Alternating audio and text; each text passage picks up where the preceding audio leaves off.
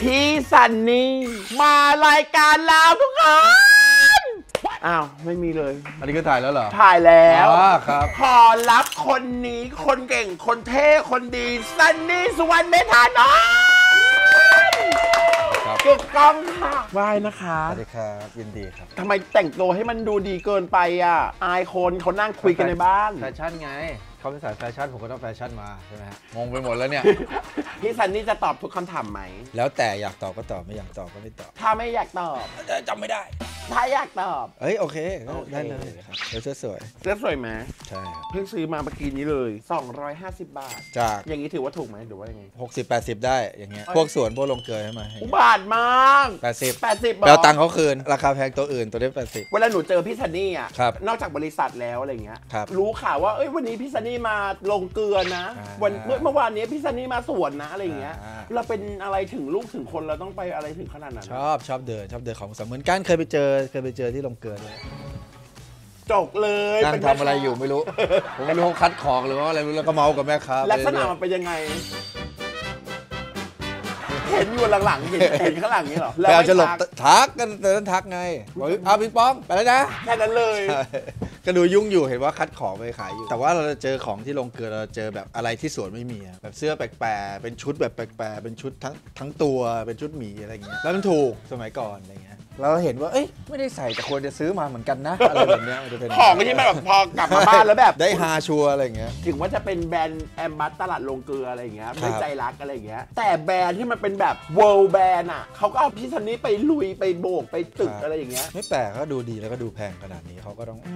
ก็ไม่เกี่ยง ไม่บอกก็ปกติไม่แปลกใจอะไร แต่มันมีงานหนึ่งอะที่พี่ซันนี่ไปงานเสื้อที่แบบตัวครัละบเป็นแสนอะแต่พี่ซันนี่ไปนั่งกดประมูลเสื้อตัวละสองร้อยอยู่หรือมันมันเป็น มันเป็นงานรวมแฟชั่นนั่นแหละครับ แล้วก็ในงานมันจะมีพิธีนั่งกินอาหารอย่างเงี้ยแล้วก็จะมีการประมูลว่าแบรนด์ต่างๆจะเอาของประมูลแล้วใครอยากจะประมูลบ้าง เริ่มที่ 5 0,000อะไรเงี้ยเออแล้วเรานั่งอยู่ที่โต๊ะแล้วมันถึงเวลาที่เราจะต้องประมูลเสื้อของเราแล้วเพราะเราเพราะเรากดตามไอ้เฟซบุ๊กไว้ ว่าตอนเนี้ยมันปิดประมูลกี่โมงแล้วมันดันเวลาชนกันโต๊ะข้างๆยก 50,000 เอาชิ้นนี้ 60,000 ชิ้นนี้ ผมก็กด 120คนเลิศ refresh เรื่อยๆว่าเออเดี๋ยวเดี๋ยวมีใครมาปาดนาทีสุดท้ายอะไรเงี้ยเราก็รอแล้วจนมิวนั่งครับมิวถามพี่ซันทำอะไรอะประมูลอยู่ประมูลอยู่เหมือนกันประมูลอยู่เหมือนกันแป๊บหนึ่งแป๊บหนึ่งประมูลอยู่หลายล้าน มันเดินปิดเวลาเดียวกันเออเอออะไรอย่างเงี้ยก็คือจบไปที่การประมูลไปเลยใช่โหได้หลายเสื้อไหมล่ะได้บ้างไม่ได้บ้างฉุนจังหวะแบบมีคนเสียงดังแปดหมื่นครับเฮ้ยเราไม่ทันไอ้นี่ปาดปาดแล้วมันปิดเลยอะไรเงี้ย แต่เราประมูลเลย 200 ใช่ มันเริ่มจากร้อยกว่าบาท ลงทีละ 20 ได้ ใช่ ในงานที่มันมีแบบเสื้อตัวละแสน ก็เขาประมูลแล้วก็ประมูล แต่คนละเขาไม่ได้ห้ามประมูลที่อื่นนี่ ประมูลผมชอบเออเพราะมันจะมีปิดตามเวลาไงใช่ไหมแต่ไอ้การมีคนชอบบอกว่า ให้เสนอราคามา พอแบบว่าเสนอราคาไป ราคาไม่ผ่านขอเก็บกลับนะคะ อุบาทมากมึงจะเอาเท่าไหร่ บอกกูมาเลยกูลงเป็นวันบอกว่าเก็บกลับนะคะ ราคาไม่ผ่าน จะขายเท่าไหร่คือกะรวยว่างั้นใช่ไหม คุณเราขึ้นเออโมโหโอ้โห เสนอราคาคืออะไร ประมูลคือประมูลไง เสนอราคา ไม่ได้ราคาขอเก็บกลับอะไรวะ ไม่ได้อย่างนี้ไม่ได้ ไม่อได้ ย่างนี้ต้องไปหาคนที่เขาประมูลอีกแบบหนึ่งหนูก็ทันวันที่พี่ซันนี่แบบเข้าวงเดการย์แล้ววันวันๆแล้วรู้เลยว่าคนนี้แบบ อุ้ยคนนี้เขาแปลกๆเนาะ อ้าว ดีหรือไม่ดีอะฮะ ใน ในท้ายตอนนั้นน่ะมันจะต้องเป็นท้ายแบบว่า ลองทรงผมเกลียนหรืออะไรอย่างเงี้ยอ่า แต่รู้ของพี่ซันนี่คือมันมีอะไรไม่รู้มันหยุ่ยหยุ่ยๆมันแบบใช่เกลียดคำว่าหยุยหยุยๆเหมือนกันนะมันดูปล่อยใจไม่อะยุคนั้นตั้งแต่ตอนเรียนมหาลัยอะครับพอพอเริ่มผมยาวได้เราตัดผมเองอยากเท่ไงไม่อยากไปร้านตัดผมเซอร์ตัดเองปุ๊บปุ๊บปุ๊บปุ๊บมาดูตอนนี้ทุเล่ทุลัง ตัดผมเองเหรอ ใช่ คือฟิลกระจกหน้ากระจกหลังแล้วใช่แบบกูอะตัดถึงกูแบบจะจบมหาลัยก็ยังตัดอยู่ จนมาเข้าวงการถึงถึงให้คนตัดให้ ทำไมอะทำไมไม่ไปร้านเลยก็นั่งเรารู้สึกว่าบางทีขี้เกียจอะไปถึงร้านอะไรเงี้ยแล้วบางทีเขาตัดมาแล้วไม่พอใจด้วยแบบพี่บอกว่าอย่าเอาสั้นอะไรเงี้ยก็จะตัดสั้นมาให้ตัดเองดีกว่าทุกครั้งที่เราต้องการระยะที่มันสั้นขนาดไหนอะเขาก็จะไปอีกทางหนึ่งใช่เขาจะไปอีกแบบหนึงก็เลยตัดเองครับผม แค่นั้นเลย เลยทุเล่ทุลังอยู่4ี่ห้าปี ไม่คนเราอะถึงจะเป็นช่างอะเขาก็ไม่ตัดเอง เราก็เคยรู้เองอย่างนี้เลยเหรอใช่ก็ใช้กันไกรสองแบบกันไกรซอยกับกันไกรธรรมดาใช้กระจกสองบานตัดข้างหน้าบางทีแหว่งก็กลบได้ตีด้านนี้มากลบด้านนี้ กลายเป็นน้องชายวินดีเซลช่วงหนึ่งไอแหว่งโซฮอลเลย ใช่พี่ซันนี่โตมาแบบไหน ประโยคแบบเหมือนด่าเหมือนกันนะใช่โตมายังไงเนี่ยอะไรเงี้ยตอนเรียนอะเป็นยังไงตอนเรียนตั้งใจเรียนโอ้ยเด็กตั้งใจเรียน คือแบบว่าตั้งใจให้มันจบอะเรียนให้มันผ่านนะให้มันจบจบๆไปเพราะเราเราจริงๆเราไม่ได้เรียนเก่ง เราชอบไหมชอบที่จะไม่ชอบการเรียนขนาดทุกวันนี้ต้องไปเรียนแบบว่าเวลาเข้าคลาสแบบว่าเวิร์กช็อปก่อนถ่ายหนังเนี้ยเรารู้สึกว่าเราไม่มั่นใจอยู่เลย เพราะว่าเราไม่ชอบการเรียนหนังสืออะไปเจอครูร่มไปเจอครูว่าอะวันนี้ทำแบบฝึกหัดใช่สิเจอครูร่มเจออะไรอย่างเงี้ยเราเขินเขาว่ากลัวทำได้ไม่ดีกลัวให้คะแนนน้อยครับติดความเป็นแบบว่าถ้ามีครูมาพุบมันเรามีการเปรียบเทียบไงเออใช่ไหมไอ้เพื่อนเราเรียนเก่งว่ะแย่แล้วอะไรอย่างเงี้ยไม่มั่นใจครับ ก็เลยไม่ค่อยชอบเรียนถ้าจะบอกว่าเรื่องไปเล่นรียใช่สมมติไปเล่นถ้าแต่ว่าเล่นแต่ว่าเอาตัวรอดได้นะแบบรู้แล้วว่าตัวเนี้ยจะไม่ผ่านจะอะไรอย่างเงี้ยเออเราจะแบบทำให้มันผ่านได้พี่ซันนี่คือเล่นดนตรีแบบกลางคืนทุกที่เลยปะหรือมันยังไงอะตอนเด็ก ๆ ตอนนั้นอะทุกที่คงก็ต้องเป็นพวงหินเหล็กไฟแล้วเหรอครับใช่วันนี้ไม่เล่นทุกที่ได้ไงผมเล่นบางที่ตอนนั้นสมัยเรียนมหาลัยเราเล่นดนตรีกลางคืนแล้วมันกับจับเพื่อนพัดจับผูยังไงพี่ซันบังเอิญเพื่อนมาชวนอยู่ดีก็เดินมาชวน มันเริ่มจากกับว่ามีเพื่อนคนหนึ่งชื่อคิงคอง ไอ้คิงคอง King Kong โอ้ยอยากชื่อนี้มากเลยอะถ้าชื่อนี้ผมเท่อะเป็นฉายาเขาคิงคองกับพิธีทัวเฮียวครับค่ะเขาเดินมาบอกว่าเฮ้ยมีมีประกวดดนตรีของมหาลัยตั้งวงเปล่าเนี่ยสามคนนี่แหละไปประกวดอะคูสติกกัน โดยที่ไม่รู้เลยว่าพี่ซันนี่จะเล่นได้เป็นไหมใช่หรือเขาเห็นเขาลางมาจากไหน ก็เห็นเล่นเล่นเพื่อนเอามาแล้วเราก็เปิดเราก็เล่นให้ให้ฟังอะไรอย่างเงี้ยแค่นั้นเองใกล้ประกวดแล้วก็ได้ได้ด้วยนะแบบว่าได้ที่สอง หลังจากนั้นไอ้นักร้องก็ไปไปไปออกเทป แล้วเราก็แบบว่าออกเทปใช่ครับใครอะพีธี Jetset'er ครับเชื่อในตัวฉันขอให้มั่นใจขอให้มั่นใจใส่แว่นใส่แว่นเลยตอนนั้นไปเล่นตามร้านต่างๆอะไรเงี้ยครับแล้วที่ได้ที่สองมานั่งคิดไหมว่าเพราะนักร้องนั่นแหละพวกเราไม่เกี่ยวหรอก เพราะว่าปีก่อนหนั้นเนี่ยนักร้องเขาร้องเขาแข่งประกวดคนเดียวเขาได้ร้องเดี่ยวเขาได้เขาได้แชมป์ไปแล้ว อ๋อคือพิธีเขาได้แชมป์ไปแล้วใช่แต่พอมีแล้วปุ๊บเขาโดนลงมาที่จากหนึ่สอง ลงมาที่สองเพราะคิงคองแหละเพราะคิงคองแย่งร้องคิงคองอยากเด่นอยากดัง เพื่อนผมเป็นมือกีตาร์ไอ้คองตอนนั้นประสานเสียงไม่เป็นก็พยายามจะประสานแล้วมันเพี้ยน ไม่ได้ เออ คืออยากเด่นอยากดังเลยพิธีเนี่ยอะพิธีจะมีปัญหากับเขาเพราะเขาเป็นเพื่อนซีกันเขาจะมีปัญหาคิงคองตลอดเวลาคองบอกเอ้ยคองกับเพลงนี้ให้เล่นงมงายงมงายของพี่ตูนลุสลัมมันต้องแบบว่าขึ้นมาอีกแบบหนึงอะเหนือน่านเท่าไรไม่รู้แต่มันมันตึ้งตึงแต่ว่าคอร์ดคอร์ดเดียวกันคีย์เดียวกันมันขึ้นเพลงปลายทางมา โคตรดี แล้วมาขึ้นมาไอ้พิธีบอกไม่ใช่คองบอกใช่ ไม่ใช่คองบอกใช่แล้วมันจะร้องแล้วพิธีเอามืออุดกีตาร์เหนือนานเท่าไรไม่รู้ที่รอเธอ ฉันจำไม่ได้หาทั้งวง ไม่ทำไงผมหัวเราะหัวเราะอย่างเดียวผมไม่สนอยากรู้มันตีกันยังไงตอนที่พิธีไม่อยู่เราเล่นสองคน แล้วเขาเป็นนักร้อง ผมร้องเพลงไม่เป็นอืมผมอย่างมากก็คือร้องลายประสานอ่าฮะช่วยช่วยๆกันไป แล้วคองก็ร้องตลอดไม่รู้วันหนึ่งมันคิดอะไรก็ไม่รู้โทรไปหามันคองวันนี้ต้องออกไปเล่นดนตรีกี่โมงนะแป๊บนึงนะกูนั่งเจ็บคออยู่เจ็บคอคือซุ่มซ้อมเปล่าเจ็บคอร้องไม่ได้ บอกให้คองทำไงอะไม่เป็นไรมึงร้องแล้วกันทำแบบนี้ แล้วผมก็ไปรับมันก็ทำแบบไม่พูดอะไรกับผมเลยเพราะว่าเจ็บคออยู่พูดไม่ได้พูดไม่ได้เจ็บคอ นักร้องกับมือกีตาร์ผมก็เล่นกีตาร์ด้วยกันอืมผมก็เล่นร้องต้องร้องร้องเล่นไปด้วยเล่นประมาณสี่ห้าเพลงแล้วอะสักพักอยู่ดีมีลูกค้าเข้ามาโต๊ะหนึ่ง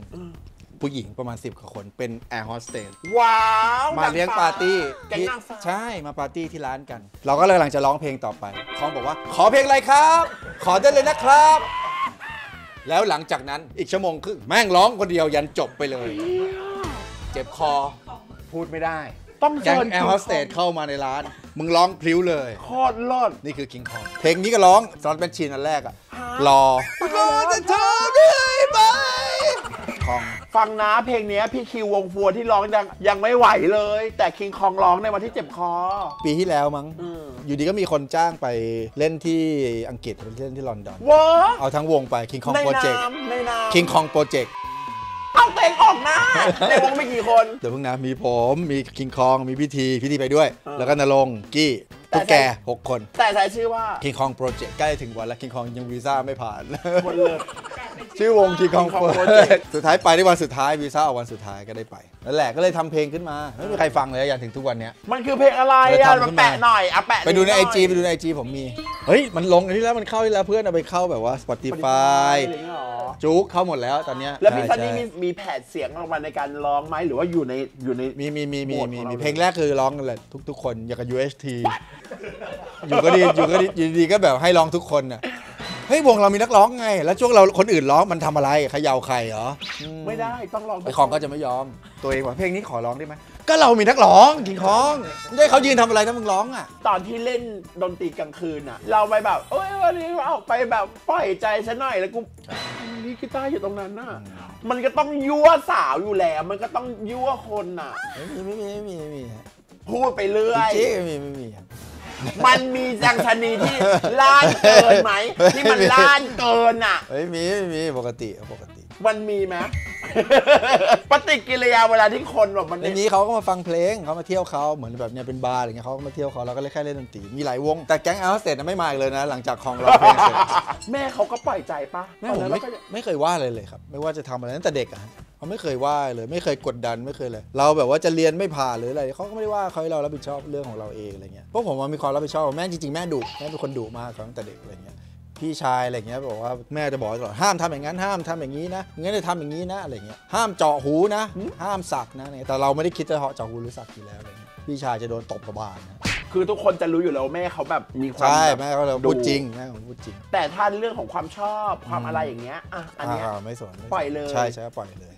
เรื่องเรียนไม่ว่าแต่ถ้าเรื่องสปาเกตตี้ครับ สปาเกตตี้คืออะไรเออไม่แม่เขาชอบทำอาหารให้กินตลอดเวลาอยู่แล้ว แล้วเขาทำอร่อย เอออร่อยมากเพราะว่าลยนมือเขาเกิดมาแบบนั้นเมืองเขาใช่ทำอยู่ใช่แล้วเขาทำแบบนั้นแล้วแบบว่ามันจะมีหลายอย่างมันมีหลายตอนด้วยสมมติพวกผมเป็นคนตะกะพวกผมกับพี่เป็นเด็กตะกะ ไม่สมมุติเลยคือมันจริงใช่ไหม ไม่ คือมันจะมีแบบโฆษณาพิซซ่าสมัยก่อนบอก99 บาทกินเท่าไหร่ก็ได้ เราก็แบบเล้าหรือจะไปอะ อยากไปกินนู่นจะกินนี่ให้มันคุ้มหรอเอออยากไปกินนั่นแม่บอกไม่เป็นไร สั่งมาที่บ้าน 5 ถาด กินจนอ้วก กินไม่หมดกินเข้าไปใช่กินไม่หมดบ้านผมถ้เป็นออยากย่างกินเงี้ย กินเข้าไป แล้วพี่สาวอย่างเงี้ยพี่สาวจะน่าสงสารหน่อยคือแบบว่าเขากินสปาเกตตี้แม่เนี่ยแหละแล้วแบบว่าเขากินแล้วมันอร่อยเงี้ยเขาอยากกินอีกแม่บอกพอแล้ว กินเยอะมากเดี๋ยวกินไม่หมด อืม บอกหมดแม่บอกไม่หมดลาดหัวนะพี่สาวบอกโอเคฟุม ไม่หมดคือมันไม่หมดสงสารก็คงไม่ได้ทำอะไรอย่างนั้นหรอก ใช่แต่มามาไม่คเขาวามเลยเขาเอาไซดาว เขาจะทำแบบว่าทำอะไรมันมีผลของมัน ทุกอย่างมีคอนซ e เควนต์คุณต้องเลือกคุณต้องตัดสินใจไง คือเป็นเหตุผลใช่ผสมมีกวนนิดนิดๆมีอะไรที่มันละบ้าระห่ำอีกไหมที่เรามองไม่ไปแบบแม่ แม่คนอื่นเขาไม่เป็นอย่างนี้แต่แม่เลิศว่ะอยู่ดีก็แบบว่าทำอย่างนี้สิแล้วจะหายทำอย่างนี้สิแล้วจะเป็นอย่างนั้นก็มันก็จริง ทำอย่างนี้สิแล้วจะหายมีครั้งหนึ่งผมมากินกินซุปแล้วอยากกินซุปเด็กๆ เด็กแบบตัวเล็กๆเลยเปียกๆเลยก็รีบหยิบซุปออกมาแล้วมันร้อนสุดท้ายมาหกใส่ตัวเอง แล้วมันลาดตรงเลอะตัวหัวหัวนมหัวนม หัวเราหัวนม แล้วมันร้อนมากผมก็ปัดหัวนมผมหลุด จริงๆแล้วแม่แม่บอกเอายาสีฟันมาทานู่นนี่งอกขึ้นมาใหม่ของจริง ของจริง ซับในซับในซ้อน ดอกแรกก็คือว่า กูเกิดมากูไม่เคยเห็นใครน้ำร้อนลวกแล้วหัวนมหลุดหลุดเลยใช่หลุดเลยครับหลุดเห็นแบบเห็นไหนเลยพุบออกไปเลยอะเม็ดยอดอะนะเม็ดยอดอะหรือเอาทั้งอันมั้งเกี่ยวว่าเม็ดยอดฐานอะไรเรียกว่าฐานฐานฐานแล้วก็นมตัวหัวนมรูดแม่ก็เอาอะไรเอายาสีฟันกับอะไรไม่รู้ทาอย่างหนึ่งแล้วมันงอกขึ้นมาใหม่คนนี้ก็บอกมันเป็นปิดโกโลนั่นน่ะลองสังเกตความเปลี่ยนหแปรืลองว่าเป็นอย่าจิงงนี้จเหรอกใช่ก็ตอนนี้มีหัวนมสองข้างแล้วมันหลุดเห็นเห็นเลยอะเอาถ้าเขาพูดอย่างนี้ว่าทำอย่างนั้นแล้วหายทำอย่างนี้แล้วดีทำ feel หมอยาได้ขึ้นมาเลย ผมก็ไม่เข้าใจยันทุกวันนี้เหมือนกันครับพี่พี่ซันนี่บอกมีน้องมีพี่พี่ซันนี่อยู่กันกี่คนนะที่บ้านอะมีพี่สาวพี่ชายครับ แล้วก็ผมเนี่ยแหละเป็นลูกสามคน character พี่ซันนี่ดูไม่ใช่น้องอะน้องคนเล็ก ไม่ใช่ character น้อง character เป็นแบบนี้ต้องเป็นแบบแอะแอะแอะแอะอย่างเงี้ยดูพี่ซันนี่เป็นพี่คนโตอะดูสุขุมครับ นุ่มลึกอะเพราะอายุเยอะแล้วมั้งแก่แล้วมั้งไม่เกี่ยวหนูเห็นพี่ซันนี่พี่ซันนี่ก็เป็นอย่างนั้นมาตลอด นี่เมื่อเช้าอ่านอ่านซองเนี่ย ฉลากไอยาแมวอะตรงนี้ไม่เห็นแล้วนะ อย่างนี้ใช่ไหมเริ่มอย่างนี้แล้วนะระยะไม่ปกติอย่างนี้มันต่อให้ใกล้อย่างนี้มันก็ต้องเห็นใช่ป่ะ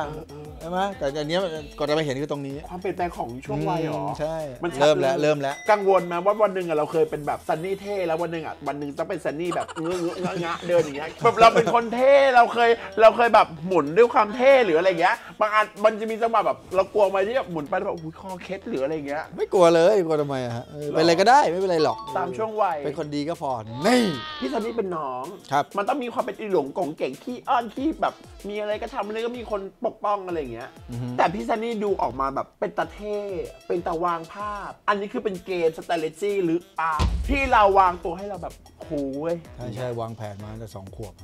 แต่ตอนหัวนมตั้งเออตั้งแต่หัวนมหลุดนั่นแหละชีวิตพลิกผันโคตรดี เราเท่ขนาดเนี้ยมันมีเรื่องโบ้งแบบแบบแบบกูกำลังเท่อยู่กูไม่งไม่ได้เลยว่ะอย่างเงี้ยตดหลุดเออ ตดหลุดในที่ที่แบบไม่ตั้งเคใจยมีอะ เคยมีเพื่อนผมคนหนึ่งสงสารมากเป็นเหตุการณ์ที่หามาผมมาอยู่ในลิฟต์ของตอนเรียนในแบกมันจะมีลิฟต์ของตึก E เป็นลิฟต์ใหญ่เขาว่าอยู่ข้างในมีเขาแล้วก็มีเพื่อนอีกคนเป็นรุ่นน้อง ชื่อบีนิชิโบก็บอกชื่อไปเลยบีโบ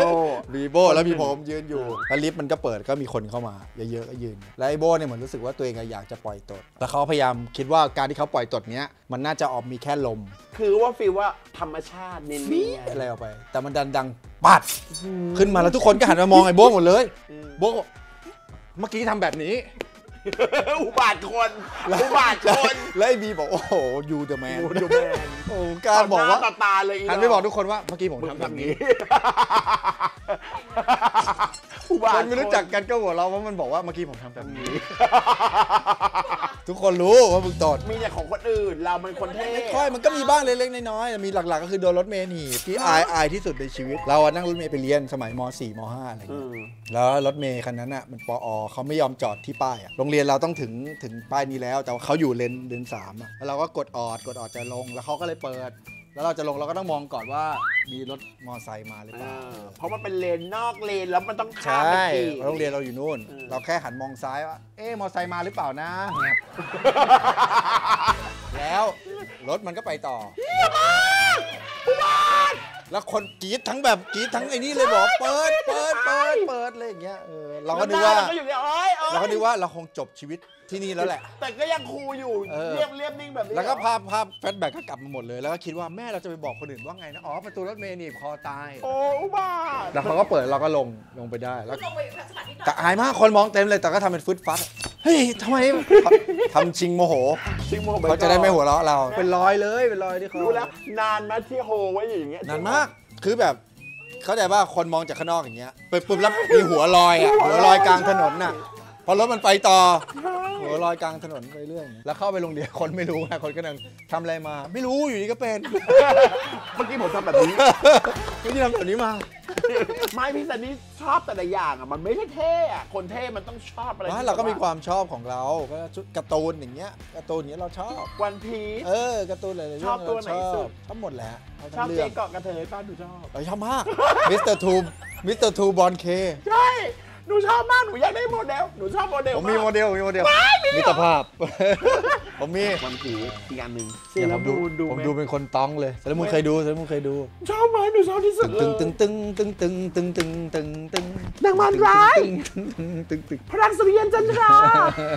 เซเลมูนอะดีที่สุดแล้วเซเลมูนดีของหนูอะเริ่มตองแล้วเหมือนกันนะใช่ก็อยากให้ต้องไม่ใช่เหรอเริ่มไม่ทุกอย่างมันก็เราก็มีสิ่งที่เราชอบแต่เด็กเลยเราชอบดูโดนัลด์ดักตั้งแต่เด็กชิปอันเดลตั้งแต่เด็กพี่ซันนี่ไปญี่ปุ่นบ่อยมาก หรือว่าความจริงพี่ซันนี่ซุกเมียไว้ที่นั่นไอคนที่ไปญี่ปุ่นบ่อยมากแล้วซุกเมีย เราหรือเปล่า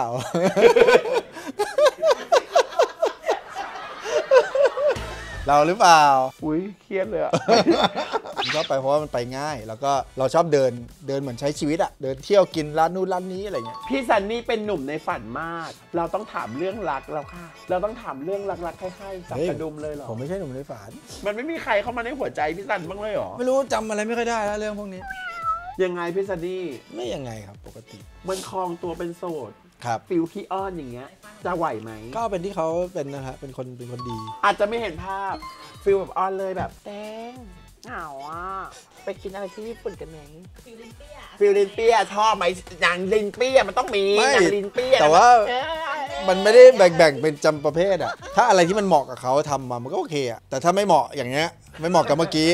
มันทำออกมาก็ได้แบบว่ามันฮะฝืนๆเหรอเออมันแบบฝืนใช่ถ้ามันเหมาะกับเขามันก็ดีอ๋อชอบแบบฟิลธรรมชาติธรรมชาติแน่อะเอาที่เขาเป็นเขานั่นแหละไม่ต้องทำอะไรให้ผมเลย ฟิลตัดแจงเหรอได้ไหมซันนี่กินวิตามินเข้าไปเยอะๆเดี๋ยวการผมบางเนี่ยกินเข้าไปเลยแต่ถ้ามันเหมาะกับเขาก็โอเค ถ้ามันมันเหมาะกับเราด้วยอะไรเงี้ยก็โอเค แล้วที่ทุกวันนี้ที่ผ่านครับ มาก็ไปหมดแล้วนี่ไง ก็ไม่เหลืออะไรเพราะเป็นอย่างนี้นี่ไงเราเล่นเราเล่นห้าหมื่นแหละแสนล้านคนบนโลกนี้มันจะไม่มีคลิกซะบ้างเลยเหรอเดี๋ยวเราจำอะไรไม่ได้แล้วความจำไม่ค่อยดี เหมือนในหนังเลยความจำเสื่อมความจำเสื่อมความจำเสื่อมความจำอะไรไม่ได้โอ้ยเหมือนในหนังสเตหนูว่าลองพี่ลิซัฟนเลิฟน่ะเลยความจำเสื่อมหมดแล้วคือหนูว่าพี่ซันน่ะต้องไงรู้ป่ะต้องแบบหาคนที่เข้าหาพี่ซันว่ะ ต้องเข้าเลยป่ะหนูว่าพี่ซันเนี่ยต้องตุยคนที่เข้าหา ตุยคืออะไร ตายแบบว่าอ๋อแพ้อะแพ้คนที่เข้าหาพี่ซันน่ะแบบว่าแบบเข้าแบบ ไม่เกี่ยวไม่เกี่ยวสามีแล้วแล้วแต่แบบนี้เราชอบเขาหรือเปล่าแค่นั้นเองเขาเป็นอะไรก็เป็นของเขาไปเถอะแล้วเราชอบเขาหรือเปล่าแค่นั้นแหละเออกูก็อยู่ไปแบบนี้ก็ชิลดี มันไม่ได้คิดนะฮะอะไรก็ได้อะก็รอมันมีทุกอย่างมันมีจังหวะชีวิตของมันมันเหงาไหมล่ะเนี่ยเพื่อนฝูงเนี่ยเขาคนชอบถามแบบนี้ตลอดเลยว่าเหงาไหมนะแล้วมันสำหรับผมผมรู้สึกว่าถ้าเราจะเหงาหรือคิดถึงใครอะมันต้องมีคนที่คิดถึงอะมันไม่ใช่ว่าอยู่ดีๆปุ๊บไม่มีใครแล้วเหงาจังเลยวะคิดถึงนู่นนี่อยากมีความรักอะจาก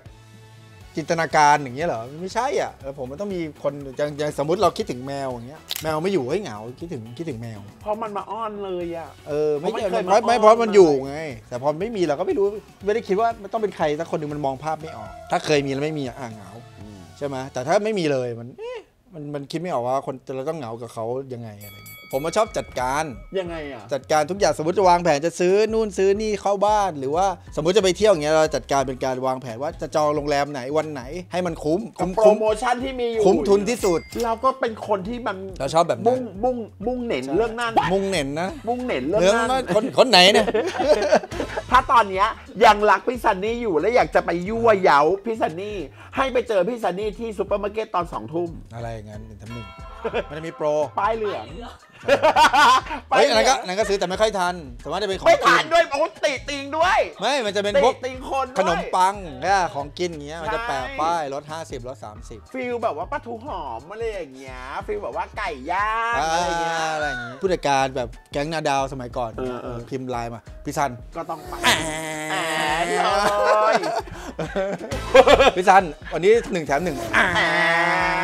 าก็คือไปในจุดที่มันแบบคุ้มสุด แล้วมันยังไงอะสมมติผว่ามสายซูเปอร์มาร์เก็ตผมชอบมาก ใช่พี่ซันนี่ไม่ออกรายการเลยนะ นอกจากแบบในวงเพื่อนอะแบบพี่โอปออะไรอย่างงี้เห็นไปจะออออกกบ้างจะออกช่วงโปรโมทหนังเพราะมีงานเพราะผมไม่รู้จะมาแล้วแบบคนจะอยากฟังชีวิตผมทำไมอะไรเงี้ยถามเรื่องจะมีเมียไหมหรืออะไรไหมก็ไม่ตอบไม่อะไรก็คือเป็นเรื่องอื่นจำไม่ได้ความจำไม่จำได้เสื่อมเหมือนในหนังความจำเสื่อมเหมือน Long Live Love Long Live Love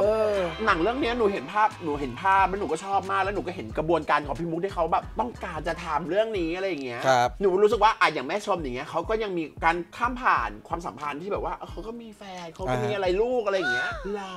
ไปเท้าความเท้าความอะไรมาจากไหน มันต้องเป็นพ่อคน อ่ามั มันมีลูกเด็กเล็กแดงมันยังไงวะพี่พี่ซันนี่เข้าสู่บทมันไปด้วยวิธีการไหนอะไรยังไงวะพี่ซันเอ้ยมั่วๆไปเล่นเหมือนทุกเรื่องเลยหวานคน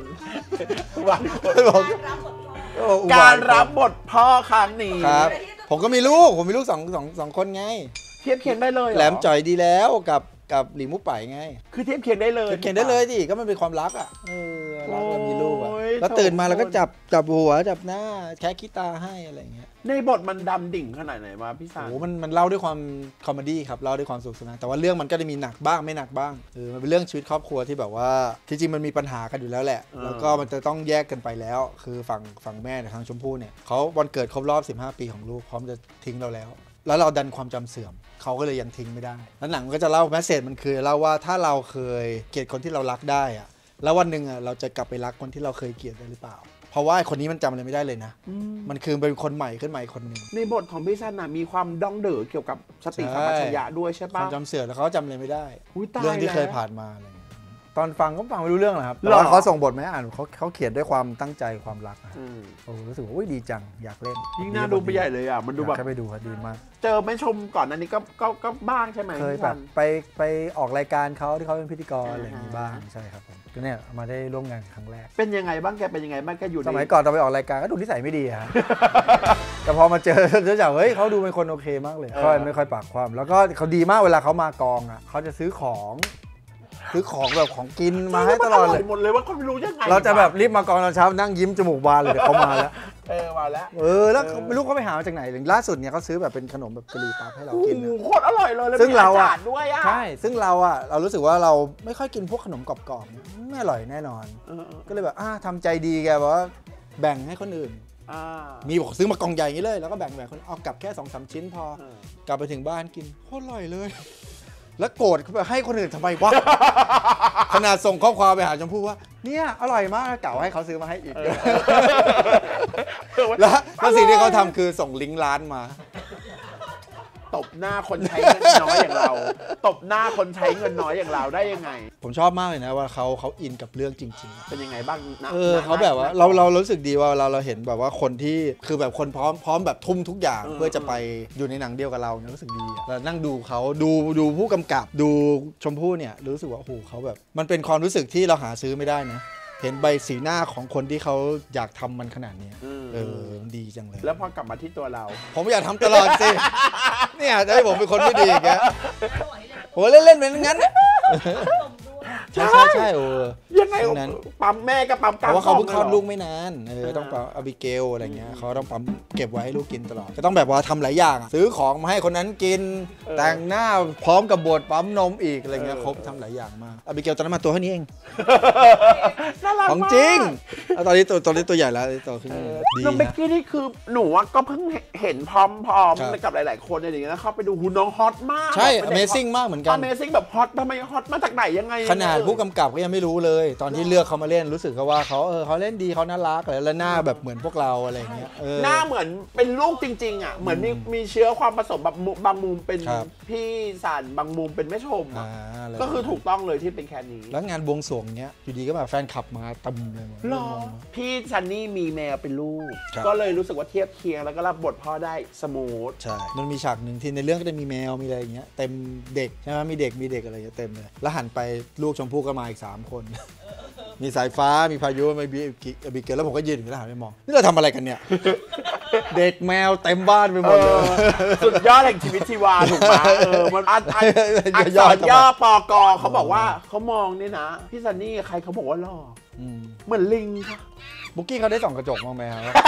ว่าเขาอะ ว่าเขาอะเหมือนลิงผมเคยดูรายการหนึ่งมันมีพูดถึงลิงอะไรรู้ลิงกินปู มันจะเป็นลิงอะมันเลยเป็นลิงอยู่ริมทะเล แล้วมันจะไปจับปูแล้วมันมาทุบทุบทุบแล้วก็กินอย่างงี้ แล้วจับจับทั้งวันถูกไหม สิ่งที่เห็นนะคือภาพเนี้ยปุ๊บผมภาพในหัวผมคืออยู่ดีเป็นภาพ speed ร้อยอะกล้องแบบ slow อะเออ แล้วเป็นหน้าปุกกี้กินตูอยู่แล้วหันมามองหันมามองกล้อง เออแล้วผมเลยถ่ายหน้าจอแล้วส่งไปเลยปุกกี้ เหมือนมากใช่เลยลอง search ลิงกินปูคือหน้าปุกกี้เลย ยังไม่จบนะ เดี๋ยวไปทำเสื้อผ้าให้พี่ซันนี่อีกห้องหนึ่งแล้วก็มีเรื่องเมาท์ต่อ ซึ่งมันเป็นเรื่องที่เกี่ยวอะไรอะเลยที่ห้องหนูจ้า